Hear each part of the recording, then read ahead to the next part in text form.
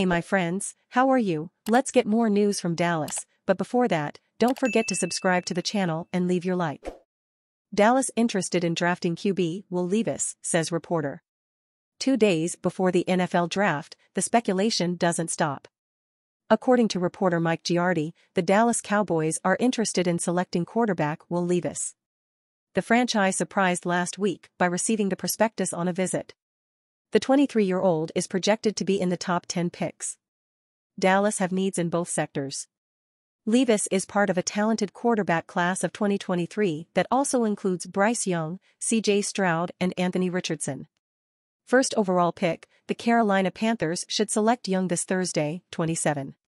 Levis is perhaps the most debated prospect in this year's draft class. He didn't have a great final college season at Kentucky. He has obvious physical abilities, but critics point out that he's not as accurate, flipped a lot, and didn't have a big production last season. Still, he became the favorite to be second overall, a pick by the Houston Texans themselves. This came as a surprise to many who believe that Levis is clearly the fourth best QB in this class. After Levis' chances of being first overall took a surprising turn on Tuesday, we may not know anymore. If a Reddit thread really hinted at the overall pick and some big betting wins resulted, then this will be a unique chapter in the strange world of NFL draft betting. The NFL draft starts Thursday night, and many Dallas Cowboys fans are wondering who the team will pick with the 26th selection in the first round. One possible target is Texas Longhorns running back Bijan Robinson. He's arguably the best athlete in this year's draft. But that might require the Cowboys to move up.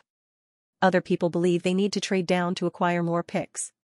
Team owner Jerry Jones said he believes the Cowboys have the people in place to make the right choice.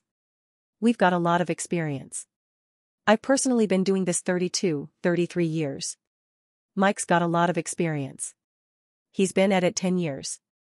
The point is, we've got experience and that has an emotional aspect to it. We've been bitten, he said. Earlier this week, Jones admitted the team used too high of a draft pick on now former Cowboys running back Ezekiel Elliott. There's a bunch of nuances that go into this running back conversation. And you fan, what do you think of the Will Levis situation? Leave your opinion in the comments.